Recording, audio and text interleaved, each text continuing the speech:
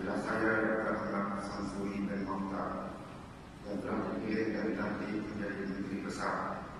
dan dimasukkan menjadi ahli majlis mesyuarat kerajaan negeri atau State Executive Council pada negeri Terengganu dengan sesungguhnya mengangkat sumpah atau berikrar bahawa saya akan